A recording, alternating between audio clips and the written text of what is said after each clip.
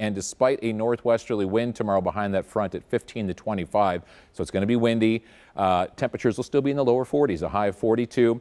Mostly cloudy throughout the day and then some sunshine late in the afternoon. I myself sat in line for quite a while today to get the salt off my car and by the time I got to Capitol Drive after dodging puddles here and there, once you get to Capitol Drive it was like a river.